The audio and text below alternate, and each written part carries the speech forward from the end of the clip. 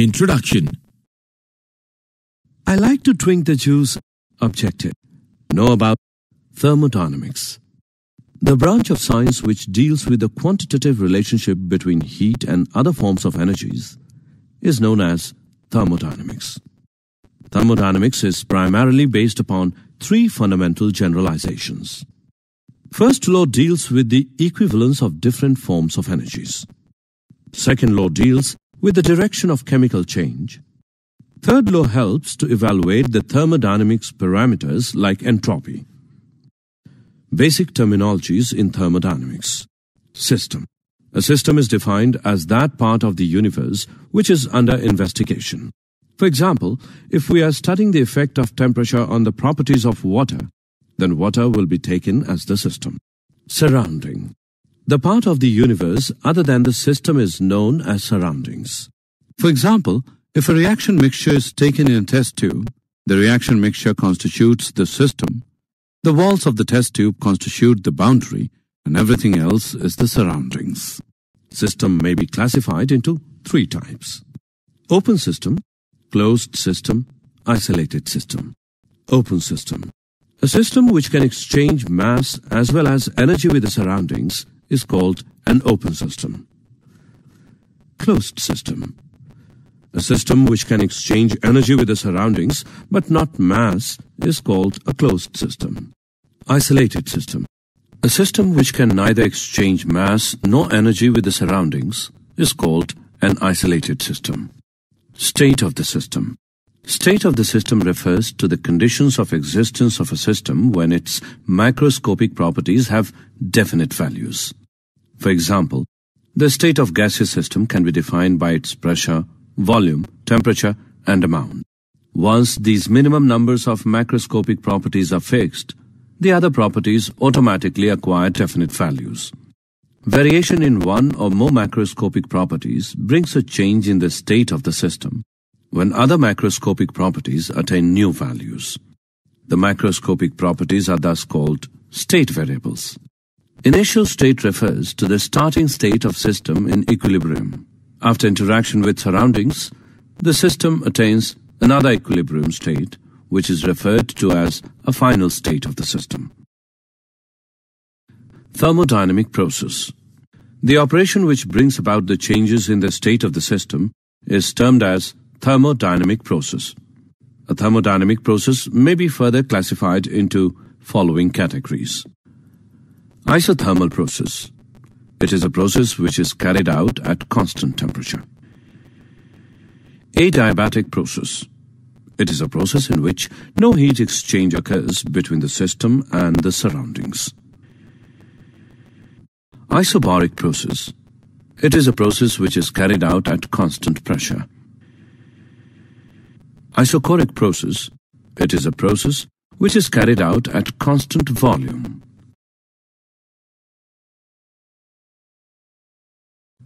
Mode of transference of energy.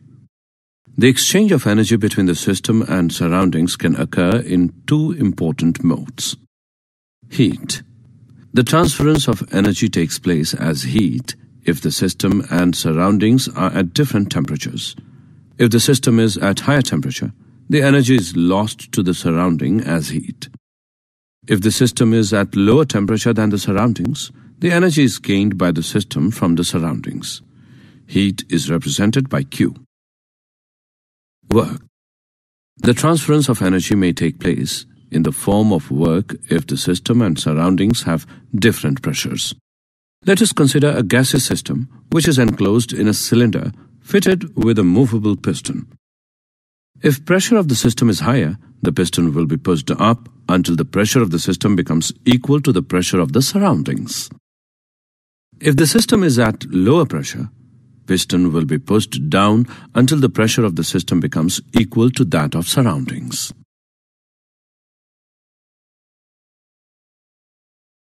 Internal energy. Internal energy is made up of kinetic and potential energies of the constituent particles. The internal energy is a state function and the internal energy changes when heat is transferred from system to surroundings or from surroundings to system. The internal energy of an isolated system is constant. The internal energy of a system can be changed into two ways. By allowing heat to flow into the system or out of the system, by work done on the system or by the system. The change in the internal energy is given by delta U equals Q plus W, where Q is the heat supplied to the system, W is the work done on the system. The above relation is the first law of thermodynamics. Pressure volume work. Consider a cylinder containing a gas is fitted with frictionless piston. If the external pressure is slightly lower than the internal pressure, then the piston will move upwards to a length until external pressure becomes equal to the internal pressure. If the volume and cross-section of the cylinder is V and A respectively, then work done by the system is equal to P into A into L, which is equal to P into delta V. Reversible PV work of an ideal gas. Consider an ideal gas be enclosed in a cylinder of volume V, fitted with a frictionless piston, and the external pressure is P. If the difference of pressure is infinitesimally small, then increase in volume is also infinitesimally small. Now, work done by the system due to pressure volume work is also small. The total amount of work for expansion of an ideal gas from V2 to V1 against a constant external pressure P is given by minus 2.303 nRT log P1 upon P2. Assessment. Before proceeding further, let us know how much have you. Enthalpy. Enthalpy. The state function is used to measure heat changes at constant pressure. H equals U plus PV. And delta H equals delta U plus P delta V plus V delta P. At constant pressure, delta P equals 0. Therefore, delta H equals delta U plus P delta V. This equation can be written as delta H equals QP. Delta U and delta H are related by delta H equals delta U plus delta NGRT, where delta Ng refers to the number of moles of gaseous products minus the number of moles of gaseous reactants. Extensive and intensive properties. Extensive properties. Properties of the system which depend upon the quantity of matter contained in it. Examples are mass, volume, energy, heat capacity, enthalpy, entropy, free energy, etc. Intensive properties. Properties of the system which are independent of the quantity of matter contained in it. Examples are pressure, temperature, density, specific heat, viscosity, surface tension, etc. Heat capacity. Heat capacity of a sample of a substance is the quantity of heat needed to rise its temperature by 1 degree Celsius. There are two types of heat capacities, heat capacity at constant volume and heat capacity at constant pressure. Heat capacity is an extensive quantity. For solids, Cp and Cv are equal and for gas, Cp and Cv are different. Heat capacity is directly proportional to the amount of a substance. Q is equal to product of Cv and delta T, where delta T is equal to Tf minus Ti. The molar heat capacity of a substance is its heat capacity for one mole of the substance. The specific heat capacity is the amount of heat required to raise the temperature of one unit mass of a substance by 1 degree Celsius. Q is equal to C into M into delta T.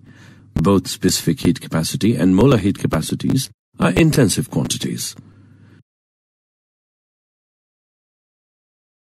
Calorimetry Calorimetry is an experimental technique of measurement of the amount of heat evolved or absorbed in a chemical reaction. The process is carried out in a vessel called calorimeter, which is immersed in a known volume of a liquid. Knowing the heat capacity of the liquid in which calorimeter is immersed, and the heat capacity of calorimeter, we can determine the heat evolved in the process by measuring temperature changes. Delta U measurement. Those chemical reactions in which heat absorbed at constant volume are measured in a bomb calorimeter. The steel vessel is immersed in water bath to ensure that no heat is lost to the surroundings. A combustible substance is burned in pure dioxygen supplied in the steel bomb. Heat evolved during the reaction is transferred to the water around the bomb and its temperature is monitored. Since the bomb calorimeter is sealed, its volume does not change.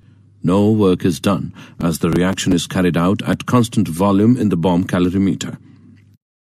Temperature change of the calorimeter produced by the completed reaction is then converted to QV. Delta H measurement. Measurement of heat change at constant pressure can be done in a calorie. Measurement of heat change at constant pressure can be done in a calorimeter. We know that delta H is equal to QP. Heat absorbed or evolved at constant pressure is also called the heat of reaction or enthalpy of reaction. In an exothermic reaction, heat is evolved and the system loses heat to the surroundings. Therefore, QP will be negative and delta RH will also be negative. Similarly, in an endothermic reaction, heat is absorbed and system gains heat from the surroundings. Therefore, QP will be positive and delta RH will also be positive. Relationship between delta H and delta E. Enthalpy is the sum of internal energy and PV energy of the system. It is also an extensive property and state function. It is mathematically given by the relation H equals E plus PV. Delta H can be determined experimentally. Delta H is equal to H2 minus H1, which is equal to summation of HP minus summation of HR. For exothermic reaction, delta H is positive. For endothermic reaction, delta H is negative. Delta H represents the heat change taking place during the process occurring at constant temperature and constant pressure. Delta H and delta E of a reaction are related as delta H equals delta E plus delta P delta V. This relation can be written as delta H equals delta E plus delta NGRT, where delta Ng is the change in the number of gas moles. Heat of reaction. It is the enthalpy change taking place during the reaction when the molar quantities of reactants consumed and those of the products formed are in accordance with the balanced chemical equation. Delta H2 minus delta H1 equals T2 minus T1 multiplied by Cp of products minus Cp of reactants. Enthalpy of reaction expressed at the standard state conditions is called standard enthalpy of reaction.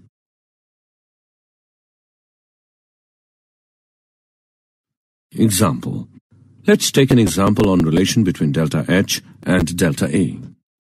The enthalpy change, delta H, for the given reaction is minus 92.38 kilojoule at 298 Kelvin. What is delta E at 298 Kelvin? Let us see the solution. Here the given values are delta H equals minus 92.38 kilojoule. Delta Ng is equal to 2 minus 1 plus 3 equals minus 2. R equals 8.314 into 10 raised to the power minus 3 kilojoule per mole per Kelvin. We know that delta H is equal to delta E plus NGRT. Therefore, delta E equals delta H minus delta NGRT. Now we put the values in the equation and calculate. We get the result delta E equals minus 87.42 kilojoule. Hence, the value of delta E is minus 87.42 kilojoule. Assessment Various forms of enthalpy of reaction. Enthalpy of formation. It is the heat change taking place when one mole of a compound is obtained from its constituent elements. Standard enthalpy of free elements is taken to be zero. Its value gives the idea of chemical stability of the compound. Enthalpy of combustion. It is the heat change taking place when one mole of a compound undergoes complete combustion in the atmosphere of oxygen. It is always negative because combustion processes are exothermic. Enthalpy of dissolution. It is the heat change taking place when one mole of the substance is dissolved in large excess of solvent so that on further dilution no appreciable heat changes occur. Enthalpy of hydration. It is the heat change occurring when one mole of anhydrous substance undergoes complete hydration. Hydration is exothermic process because it involves the bonding between the water molecules and central metal ion. Enthalpy of fusion. It is the heat required to change one mole of the solid substance completely into liquid at the melting point. Enthalpy of vaporization. It is the heat required to change one mole of the liquid substance completely into vapors at the boiling point. Enthalpy of neutralization. It is the heat change taking place when 1 gram equivalent of an acid is neutralized by 1 gram equivalent of a base in dilute solutions. Enthalpy of hydrogenation. It is the enthalpy change occurring when 1 mole of an unsaturated organic compound is fully hydrogenated. Enthalpy of transition.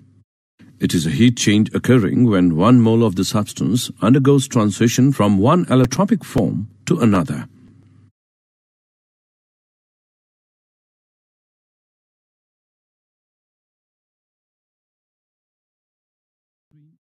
Laws of thermochemistry Lavoisier-Laplace law the enthalpy change taking place during the reaction is equal in magnitude but opposite in sign to the enthalpy change occurring in the reverse process. Hess's law. Hess's law states that the enthalpy change taking during the process depends only on the initial and final states and is independent on the path by which the process is carried out. Hess's law helps us to calculate the enthalpies of many of the reactions which are practically not possible, such as enthalpy of formation, enthalpy of transition, enthalpy of hydration, etc.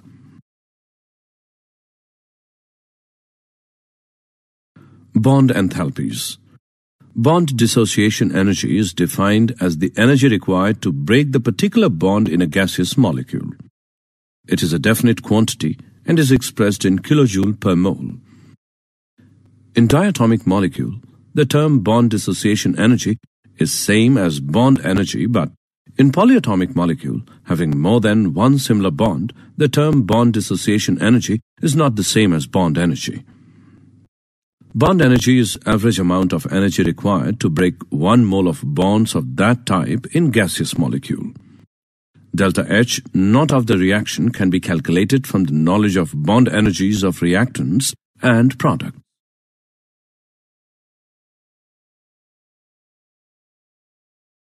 A spontaneous process.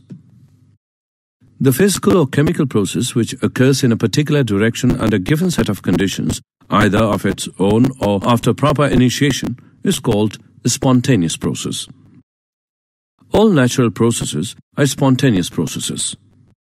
A spontaneous process cannot reverse of their own under a given set of conditions. Any process, physical or chemical, occurring in this universe will be spontaneous only if it involves increase in the entropy of the universe. For a process to be spontaneous, delta S universe must be greater than zero. If delta S total is equal to zero, then it implies an equilibrium state. Gibbs energy. The energy freely available from the system at particular set of conditions which can be put into useful work is called Gibbs energy.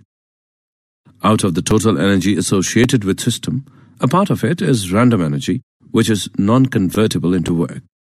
The Gibbs energy can be represented as G equals H minus Ts. Gibbs energy is state function, extensive property, and has units joule per mole. Change in Gibbs energy during the process is given by G2 minus G1, which is equal to delta H minus T delta S. Gibbs energy change of the system is related to delta S total by the given relation. Delta G of system is equal to minus T delta S total. Gibbs energy change of the system at particular condition represents the useful work obtainable from the system other than PV work. Standard Gibbs energy of formation. the free energy change taking place during the formation of one mole of the compound from its constituting elements at the standard state. Delta GF naught of free elements at their standard state is taken to be zero. Standard free energy change is related to the standard free energies of reactants and products as delta G naught is equal to summation of delta GF naught of products of minus summation of delta GF naught of reactants. Delta G naught is related to delta H naught and delta S naught of reaction as delta G naught equals delta H naught minus T delta S naught. Delta G naught is also related to the equilibrium constant as delta G naught equals minus 2.303 RT log K. Assessment. Did you know? The word entropy was invented by the German physicist Rudolf Clausius in 1865. Energy cannot be reused once it has turned to heat and dissipated, just as we cannot rebuild an igloo once the snow has